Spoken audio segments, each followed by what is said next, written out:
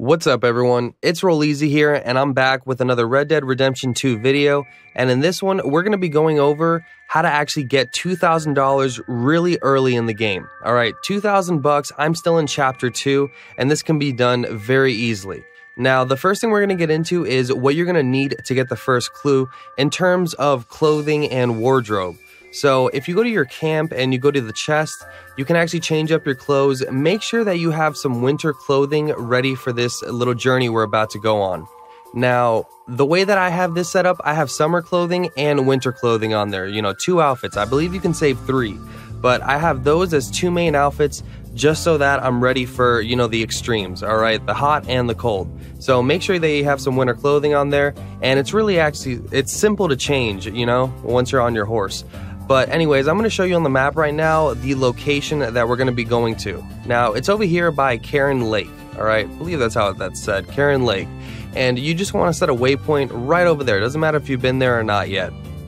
But once you've set that waypoint, make your way over there. It's probably going to take you a little while. The biggest thing about this, it's like I said, it's a journey. It's it's a lot of horse riding. But once you get up, you're you're finally going to realize that the snow has you know you've reached the the part of the mountain where the snow is still you know sitting up there because it's so cold. This is where you want to change to your winter clothing. All right change to your winter clothing because the cold up there is brutal. It gets really bad. And don't forget about your horse. All right give your horse some food the necessary food it needs right now just to make sure that its health is good. Usually you just feed it one thing and its health goes straight up so, yeah, and actually on the way up this mountain, I grew to that level 4 bond with the horse. I'm not sure if there's more. But once you make your way to that checkpoint, you're basically to see a frozen little lake behind you right there, and you're to see this little hut. This is where you want to go into. So go inside of here, and underneath this bed is a lockbox. All right, so you want to inspect the lockbox, and inside you're going to find a few things, but the main one that you need is the treasure map clue. Okay, so there's about three treasure maps that we need to find uh, to actually get the $2,000. All right, so we have the treasure map plus a few more things, and I'm just gonna, for some reason, put that away. so there it is. That's what it should look like, and I'm gonna show you on the map now where we're gonna be headed to next. Okay, so if we pause, go to the map, we're gonna be headed south. Okay, so from north to south, you want to head down over here. All right, just set a waypoint just right around there. All right, right by that pond. And once you've set your waypoint there, I'm going to get on my horse and we should be headed to that location. So this is where I set the waypoint, right on this little road. Now, what you want to do is ride up the hill and you're going to see a few trees up here. You're going to see that really broken one right there, the brown one. And there's a smaller one uh, to the right. Yeah, there it is right there. So that's the one that we're looking for. All right. We're looking for this tree. And if you walk around it, you will actually see that there's a hole in it. And that's where the next clue is, or the next treasure map, uh, whichever way you want to put it. But as you can see, I'm going to walk around. There's a hole, and I can hold down square to search. So I'm going to search and find that there is actually another treasure map. All right. So there we go. We have our next clue. Uh, if you open it up, you can see what it is, and it's just a little clue to what we're going to be, you know, coming up with next. So there it is. Uh, looks kind of like a snake, and then that, and then that, and yeah. So what you want to do is go ahead and checkpoint this location right here on the map. All right, just right there. I'm to zoom out so you see where it is. It's right by that long river. So just checkpoint right there. And this is where we are at the moment.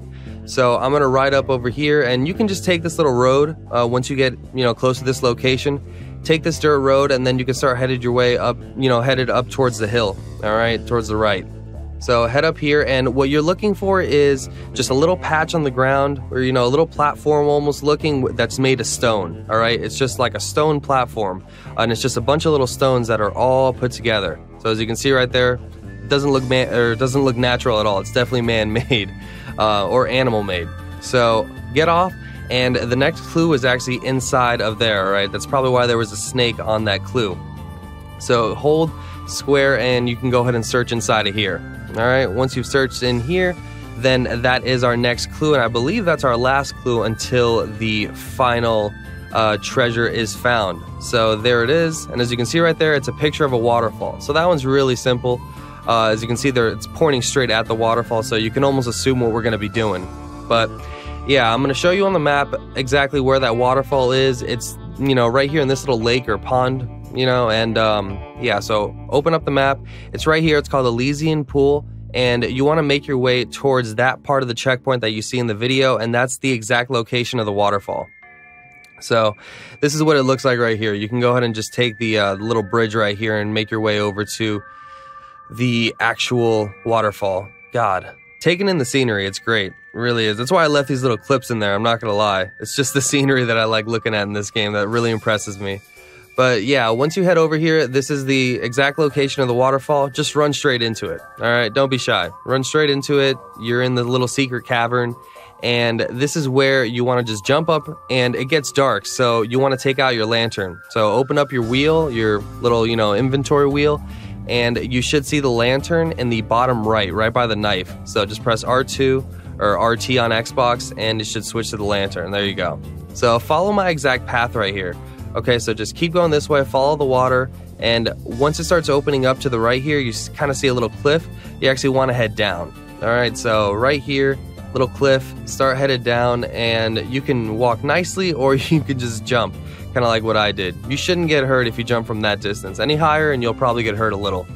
So keep moving, and it'll force you to crouch down. And if you look directly to the right, you'll see a tiny little cave that you can crouch through. So you want to walk through here and start hugging the right side of the cave and make a right. All right, so it kind of you know forks off here. Make a right, and you can start sprinting down this part a little bit. So keep going, keep going, and keep going. Keep going. and you're gonna hit you're gonna hit this part right here, so don't run. This is why I actually slowed down. So don't sprint, all right? Because you head towards this part and you don't just want to fall right off here and hit your head. But we're gonna be jumping off of that little cliff right there. So I'm gonna make my way back over here just so I can get a running head start. Okay? So I'm gonna, you know, stand here turn around, and then I'm to start running as fast as I can, you know, tap an X, and then I'm to hit square to jump and hopefully land right there perfectly. Okay, so that's where you want to land. If you fell all the way down, then you didn't do it right. So you want to make your way down this little cave. Look, it's so creepy. I think that's why I just stood here. I was like, this is creepy as hell. So keep walking down and you want to just hit the water here and you'll see that you can actually climb up directly in front of you. So climb up right here and inside this pile of rocks that doesn't look special at all is your treasure. All right. He just reaches in there. Look at this. He just reaches right in that little hole and he just pulls out four bricks of gold. Four gold bricks, just like that. So there it is. That's where the treasure was. Four gold bricks. You can go ahead and take it to the fence and you can sell it. As you can see right here, sell off for $2,000. So a nice quick $2,000 that you can make really early on in the game. This should help you if you haven't unlocked uh, the teleport options or anything like that. And I'm going to get into that in a future video. But all right, that's going to be it for me, guys. My name is Rolleezy. Please subscribe to the channel if you're brand new. Hit that big red button. Turn on post notifications, like all my videos for the freshest and the most informative RDR2 content out. Peace.